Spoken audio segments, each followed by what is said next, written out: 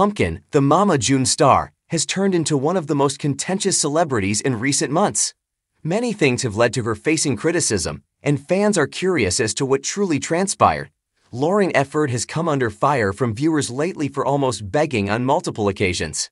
In the midst of all of this, Pumpkin just showed out Josh's brand new $37,000 truck on social media, shocking admirers.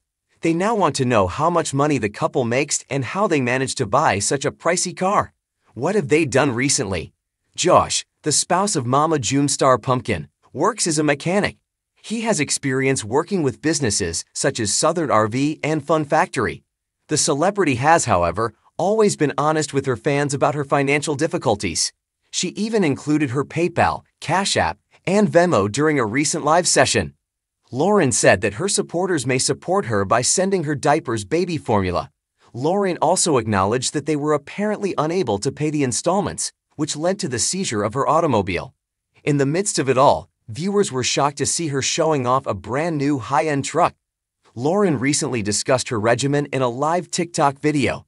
She said that Ella was in school and that she was already prepared. Now we're getting Dada's new truck and oil change, the celebrity continued. Pumpkin then offered a brief preview of Josh's brand new pricey Ram truck. She acknowledged that she was incredibly proud of her spouse. Mew said that the price was around $37,905, even though she didn't say how much it cost. This information was released subsequent to Lauren's earlier assertion that her spouse is purportedly unemployed and that their current financial situation is difficult.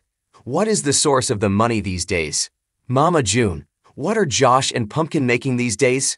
Pumpkin has opened up to her audience on countless occasions about her financial struggles. She said she was having a terrible time making ends meet and wasn't even able to afford basic basics. When the celebrity was receiving support from her admirers during her live sessions, she would even send links to Cash App. However, after Lauren flaunted her brand new car, fans began to question how she was making money. It appears that Mama June, their family show, may be their primary source of revenue. Well, we don't know Pumpkin's exact salary range.